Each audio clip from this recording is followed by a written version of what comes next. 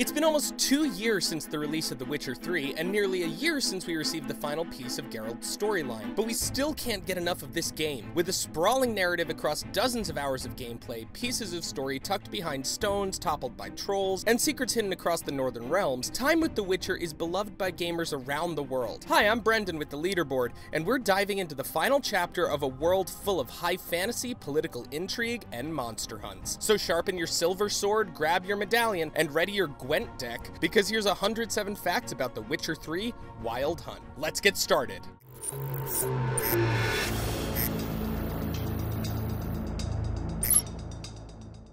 The aptly named Witcher 3 The Wild Hunt is the third installment of the Witcher series, developed by CD Projekt Red. It was released worldwide on May 19, 2015. The Witcher 3 concludes the story of Geralt of Rivia. As of right now, the only Witcher-based game that CD Projekt Red has planned is Gwent, the Witcher card game for PS4. Gwent is a card game played in Witcher 3 and is set to be a game that can be played with others online. The game is currently in beta that anybody can sign up for. The overarching story of The Witcher 3 is to find Ciri, a young woman with incredible magic magic powers and keep her safe from the people involved in the Wild Hunt. She was mentioned in the original Witcher game and was in the original source books, but hadn't made an appearance until now. Unlike the last two Witcher games where you can only play as Geralt, at some point the Wild Hunt allows the gamer to play as a second person. Yep, that's right, it's Ciri. The Witcher 3 has many nods and callbacks to the first and second games, and luckily players have the option of transferring data from their save file in The Witcher 2. Fear not, if you haven't played The Witcher 2, the game gives you the choice of making up the story on the fly, much like in Mass Effect 2 and 3. The Wild Hunt comes with two expansions that have extra gameplay and quests. The first to be released was Hearts of Stone, and the second was Blood and Wine. Hearts of Stone introduces a new antagonist, Olgierd von Everec, as well as new creatures to fight in combat, while reintroducing some old friends like Shani, who also happens to be a romance option, and bringing them back into Geralt's storyline. While Blood and Wine deals with vampires in the end, the expansion is much more lighthearted than the rest of The Witcher 3. The setting is much brighter, and the characters in the background seem much less oppressed than that of the rest of the series. Blood and Wine also introduces the vineyard that Geralt receives at the beginning of the expansion. Here the player can customize Geralt's home, lab to work on and experiment with mutagens, and Roach's stable to give him more health and stamina. The Witcher games are based off a series of Polish fantasy books written in 1986 by Andrzej Sapkowski, who's been described as the Polish J.R.R. Tolkien by fans and critics alike. Ironically enough, before he even thought of writing the Witcher stories, he was a traveling fur salesman who graduated with a degree in economics. Sapkowski came up with the Witcher character after trying to reinvent an old Polish fairy tale about a poor cobbler who wanted to achieve the impossible, killing a dragon. He claimed that no one would ever conceive of calling upon a cobbler for help, and he considered knights and warriors to be too, well, stupid most of the time in his mind. In his mind, a witcher was a professional monster hunter and a much more qualified man or woman for the job. Interestingly enough, Sapkowski never had any real interest in video games, and he was not convinced that The Witcher would succeed as a game series. When CD Projekt Red came to him with the idea, he took all the money up front instead of collecting as the games continued to come out. He definitely thinks that was short-minded of himself now, seeing as how the series has sold over 25 million copies. Some fans of the Witcher book series were a little concerned with the differences between the books and the games, but CDPR has mentioned long ago that the games would not be a direct adaptation of the novels. This would be especially difficult to keep track of since The Witcher 3 is such an expansive world map with many different options for dialogue. But if you enjoyed the books, there's a Witcher graphic novel heavily influenced by the games. The Witcher 3 game was originally sold with a graphic novel titled The Witcher Killing Monsters. The art was done by Max Bertolini and it was written by Paul Tobin. Before The Witcher 3's release, Paul Tobin worked on a Witcher miniseries called House of Glass. It was well received among fans of The Witcher, but it was difficult for a newbie to get into because it did not provide any background info on the Witcher world or Geralt. The House of Glass segment is a Witcher-themed standalone, as it features a broad cast of characters that did not appear in the game and is five issues long. Two people closely attached to the Witcher series have never played any of the titles. The first is Sapkowski, who has never played any of the Witcher games, but has seen all of the game's artwork and commented that those pieces alone were, quote, a sight to behold. The second is CD Projekt Red's co-founder, Michael Who hasn't played Witcher 3. What are they waiting for? CD Projekt Red was not the first studio to delve into the idea of making a Witcher game. The first studio to give it a shot was Studio Metropolis, but it never ended up gaining any traction like the current games did. The budget for The Witcher 3 is estimated at 306 million zloty. That's 81 million US dollars. And while 81 million dollars sounds like a lot, compared to other games of similar scope, it's actually more like a budget price. For example, GTA 5 was estimated to cost around 265 million dollars, and Star Wars The Old Republic cost around 200 million. The Witcher 3 took three and a half years to develop, which is about the same time it took to develop the previous title in the Witcher series, Assassins of Kings. The original game, however, took five years to complete. So with three and a half years under development, you would think that it would hit the shelves on time, right? Well, the game had to be pushed back in its original release date not once, but twice. Of course, pushing back a game's release is pretty common. CD Projekt Red also had good reasons, as they wanted to ship a game that was a very smooth and polished experience. One of the game's biggest promises that The Witcher 3 made in development was to give quests that felt like they were integral to the world. Gone would be the days of grinding for experience by killing boars in the woods by hand, and collecting rat tails for the local nut job offering a copper or two. What's he gonna do with them? Even with all the success and good press that The Witcher 3 had received before its initial release, some fans were upset with the difference in graphics that had been previewed in 2013. What had been shown early on versus what had been given in the final product was an obvious downgrade, but after playing the game, most fans noticed that the downgrade did not inhibit the gameplay or storytelling whatsoever. You know the old joke, how many people does it take to develop a video game? Wait, that's not a joke. Anyway, in this case, the studio had about 250 employees in-house working on the game, and that's not including the hundreds, if not thousands, who worked around the world on elements such as localization. To ensure authenticity, CD Projekt Red brought microphones to actual battle reenactments so they could bring each battle scene to life. And for the massive amount of dialogue that's available for players to experiment with in The Witcher 3, there were only 14 people on the game to create the cinematic dialogue system to bring the game together. This team included animators and. All of the dialogue options were put together using an algorithm to make it easier to create, and make it more authentic for players to become immersed into. Lip syncing's a big deal, guys. But it looks like all that hard work paid off. The Witcher 3 has received more Game of the Year awards than any other game in the world. With a total of 251 awards, it beat the previous year's score of 249 awards, which was held by The Last of Us. Sorry, Ellie and Joel. And that award is well deserved. Players have logged over 100 hours of gameplay in The Witcher 3. While the first two games were also open world, this last installment is so much larger, not to mention the extra 50 hours worth of DLC and side quests. For the overachieving players out there, The Witcher 3 also has 60 plus trophies and achievements that you can unlock, some of which include Assassins of Kings, in which you have to assist the King of Radovid, Fast and Furious, in which you have to win a horse race, and The Limits of the Possible, in which you have to collect all of the trophies in the game. They really weren't joking when they said this game was almost limitless. Along with all these new quests, players can collect six new Witcher gear sets that consist of Starter Gear, Serpentine, Griffin, Feline, Ursine, Wolven, Viper, and Manticore gear. Who doesn't like to dress up their tortured, adventurous monster hunter every once in a while? It's my personal hobby. Every side quest the player takes part in adds depth and character building to the story of The Witcher 3, but at the same time, it isn't keeping anything from the main plot of the game. The creators wanted to make sure that none of the extra pieces in the game felt like they needed to be completed, but they also didn't want the player to complete something with nothing gained. Take notes, Mass Effect Andromeda. If you're tired of side missions, fist fights, main storylines, monster hunts, and more, there's always the most popular pastime in Temeria and beyond, Gwent. This army building card game replaces the dice games from the previous two titles. In games of Gwent, there are different decks that represent types of factions. What's interesting is that these decks and their respective cards are modeled after the political factions and leaders in the game's world. It would be like playing a card game where you had President Trump pitted against Prime Minister Trudeau. Kim Jong-un's card is useless and he does nothing. In the base game, there is a quest given called Collect Them All, where you are tasked to collect every single Gwent card in the game. This is no small feat, as there are 183 cards in the game alone, and that is not including the leader cards. The factions that can be found in Gwent include the Northern Realms, Nilfgaard, Scoia'tael, and Monsters. Later expansions include Skellige as a new faction in the game. So which faction are you? Let us know in the comments below. Did I pronounce them wrong? Tell me too. I don't know how to pronounce Soyat... Skoy... Skoy... It's been a while since I played this game. One of the cards in the Nilfgaard deck is the Black Infantry Archer. On the card's descriptive text, you can find the line, I aim for the knee, always. So maybe this guy knows a guy in Whiterun. Like archers, they like, they chill, right? They go to like archer conventions.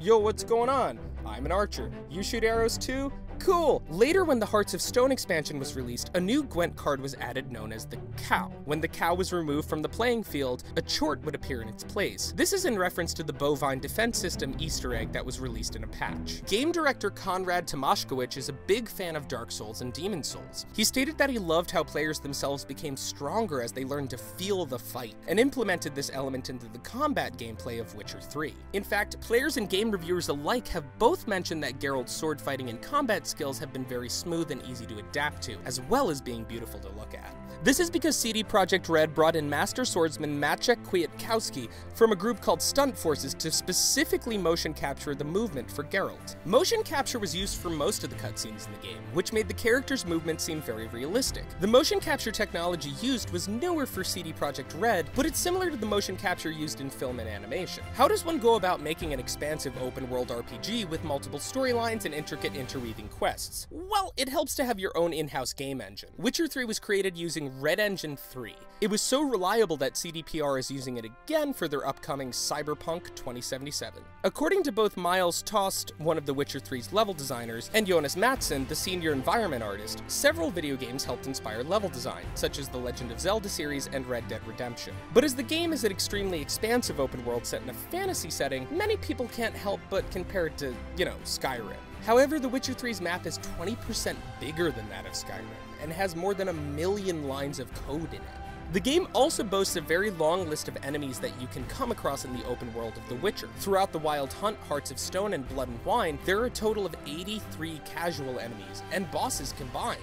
CDPR dug deep into Northern Europe mythology to bring traditional monsters to life in The Witcher 3. They wanted to make the cast of creatures more interesting than just throwing in the common vampire or zombie. A few of the more notable monsters from the game include Leshen, Botchling, and the Wild Hunt themselves. Leshen, originally known as Leshi or Leshi in Slavic folklore, are closely related to the Wendigo forest spirit of the Algonquin people. They're found in thick, dense forests, and their powers control the environment around them. Not much has changed from the myth to the game other than the slightly more disturbing appearance. While CDPR didn't want to put in a stereotypical zombie in the Witcher universe, they did give us botchlings. These creatures are what's left of an unborn child with no name and no grave. They seek out expecting mothers and assault them, unless Geralt has something to say about it. In Northern European mythos, these creatures aren't depicted in such a dark light, though they are still just as tragic. They're the spirits of children who haven't been baptized, and were abandoned by parents who could not afford to care for them. The Wild Hunt didn't differ much from mythos to game, apart from the fact that they were tailored to be a great adversary for Geralt and his company.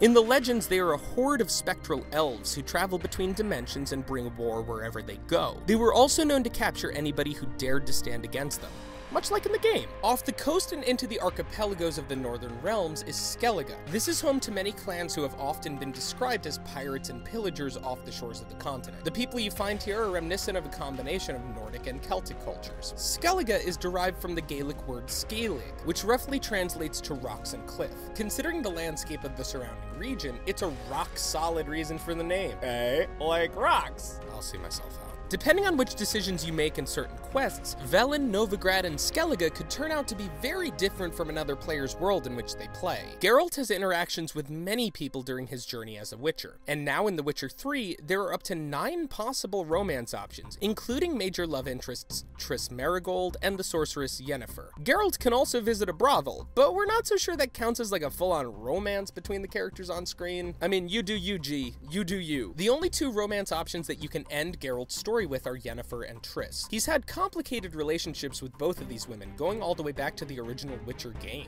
Doug Cockle said that one of the weirdest experiences voicing Geralt in The Witcher 3 was doing the sex scenes. He stated that when you're doing it in the booth, there's a different kind of awkwardness, because it isn't like masturbation. You're being caught masturbating. Do you know what I mean? Uh, you don't have to answer that, guys. We're really cool about that. You got lots to talk about in the comments below. So while Geralt might be the Witcher, he isn't the only Witcher. Witchers are those who have undergone extensive training to become monster slayers for hire. They're often frowned upon in society until they're needed most by those in danger. In order to become a Witcher, one must undergo the Trial of the Grasses. This was an incredibly deadly concoction of herbs that only 3 in 10 were said to survive. If you did survive, you would come out with enhanced strength, reflexes, and senses. Heck, you even got some really cool Viper eyes to boot. Love me them Viper eyes. Look at those Viper eyes. Do they see in the dark? I don't know. Do they get the ladies? Ask the nine romance options. There are different trains of thought amongst Witchers that divide them into several schools. Some of these schools include Cat, Wolf, Bear, and two that were introduced in the second and third game, Viper and Manticore. While we only ever meet Witchers who are human in-game, it is possible that there was, once upon a time, non-human Witchers. This is indicated by in-game text found in a laboratory, and is noted that those of the Cat School primarily were of elven descent. What are the essential tools of the Witcher trade? A steel sword for slaying people, a silver sword for killing critters, and a special medallion that aids them in tracking down their foes. Another aspect of being a Witcher that is featured in the games is the ability to make potions and concoctions. These potions will grant a Witcher enhanced abilities or increased healing, but be careful if you're part of the normal public. A sip of this stuff is deadly and can easily kill you. The Witchers can also enhance their abilities by using the mutagens they find after killing monsters. In-game, you unlock mutagen slots to be able to increase your abilities, with bonuses being awarded if you match the color of the mutagen with an ability of the same color. While Geralt had many abilities that were aided by mutagens in The Witcher 1 and 2, he now has a more extensive catalog of maneuvers for the third installment. These abilities include his Witcher sense, which helps him locate hidden items, fighting on horseback and while underwater, and using a crossbow. Many of Geralt's new mutations become available in Blood and Wine, and much like Geralt would have to do in real life, the player must study the mutations to be able to unlock the talent tree for their character. There are 12 mutations made available to players in total, and they can come in the form of combat, signs, or alchemy. Geralt's horse is named Roach. As a trusty companion, you can even mount trophies onto his saddle, because severed hag's heads are all the fashion in Temeria. If Roach is Geralt's trusty steed and favored mode of transportation, then what's his least favorite? Portals. Enough said. Maybe he should stop hanging around certain sorceresses. And don't go to Aperture Science, dude. You will not have a fun time. On April Fool's Day in 2016, CDPR thought it would be funny to tell the world that Roach had been bugged.